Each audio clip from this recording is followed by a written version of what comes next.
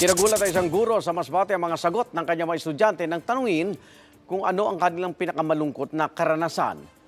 Karamihan kasi apektado sa hiwalayan ng mga magulang o gulo sa kanilang mga pamilya. Saksi, si Maki Pulido.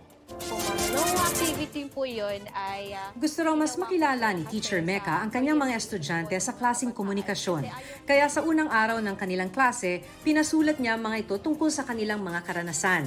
Pero bukod sa pinakamasaya, pinaka-napukaw daw ang atensyon ni Teacher Mecca sa isinulat na malulungkot na karanasan ng kanyang mga estudyante. Masayahin at makukulit ang grade 11 students niya sa Masbate Comprehensive High School.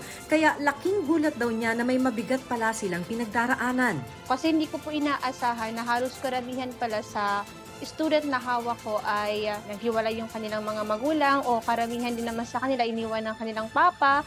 Yung iba naman ay ah, naghiwalay sapagkat magulo na nga kanilang pamilya. 30 sa 50 estudyante ni Teacher Mecca ang ganito raw ang sagot. Wala pang bagong datos ang Philippine Statistics Authority kung ilan sa pamilyang Pilipino ang naghiwalay na ang mag-asawa. Pero sa datos ng Office of the Solicitor General, mahigit 100,000 marriage cases na ang na-file mula 2009 hanggang 2021. Karamihan daw dito mga kaso ng nullity of marriage, annulment at legal separation. Pero tingin ni UP Professor Josephine Dionisio, mas marami pa raw ang bilang dyan. Sa isang bansa kasing bawal ang divorce at magastos ang annulment, kalimitan daw naghihiwalay na lang basta ang mga mag-asawa. At dahil wala namang batas kung saan nakasaad ang mga responsibilidad at obligasyon ng magulang sakaling maghiwalay, pati mga anak apektado. Karaniwan, nagsasuffer economically yung mga babae. Either sila yung papaalisin sa bahay or sila yung mapuputulan ng sustento kasi nga walang batas na magtitiyak ng kanilang kapakanan. Ito raw ang naranasan ng ilan sa mga estudyante ni Teacher Mecca. Dahil doon nahirapan sila, yung iba ay tumigil pa nga sa pag-aaral, yung iba pa nga ay medyo hindi na nakakakain. Yung iba pa nga, yung kanyang mama ay nag-OFW dahilan na sila na lang o sila na lang magkakapatid yung ah, magkakasama sa isang ah, tahanan.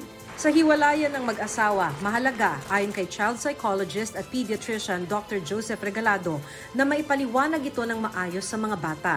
that it be clear to the children that they do not get to stop being loved by their parents. That they have nothing to do o wala silang kinalaman sa hindi pagkakasundo ng mga magulang. Hindi kasalanan ng mga bata. Mahalaga rin daw ang papel ng mga teacher, kamag-anak, maging ng mga doktor para maalalayan ang mga bata.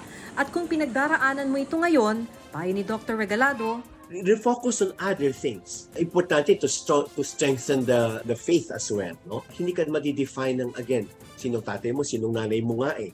Uh, kung magkasama sila, hindi yan na nadidefine sa'yo. It's what you make out of yourself. ako si Maki Pulido, ang inyong saksi